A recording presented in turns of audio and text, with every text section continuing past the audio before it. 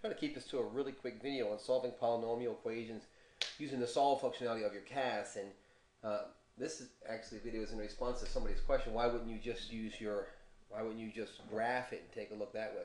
So let's start there. So here's our calculator. I'm going to go to the graphing section. I'm going to graph this first. And here are the two equations that I have. The first one is 2x to the fifth.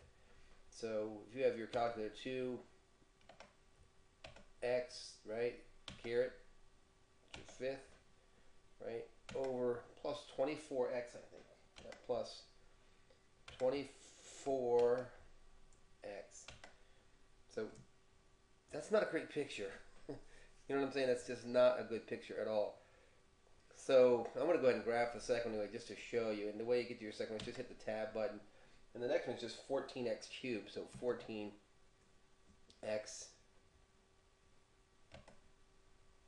cubed. So there are these two functions. First off, you can't see what's really going on here. So I guess my question is, is this thing gonna, is this thing, this thing is heading down here, this thing is heading down, are they gonna cross somewhere down here? Um, this is a fifth root, so what are the possibilities? Remember that the possibility is that they could cross as many as five times, right? So let's take a look. What if we did this a different way? So here I'm just going to go to my main menu. To choose calculator.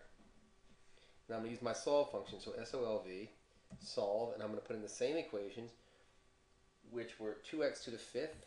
So 2x to the fifth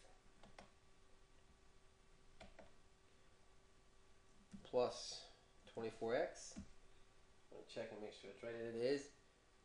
Is equal to 14x cubed, 14 x cubed. And now here, comma x. So this is really important when we're using the solve function. So here are the important parts about the solve function. Type the word solve, open a set of parentheses, put the equation in with an equal sign where it belongs. Make sure that you put comma x, which means in terms of, and if your variable is x, you want it in terms of x, and then hit enter. So here are five solutions. When I asked you earlier, when we were looking at that graph, does it looks like it might cross somewhere? It does. Look, it crosses at at negative 2. It also crosses at negative square root 3. It crosses, it touches at 0, it touches at square root 3, it touches at x equals 2.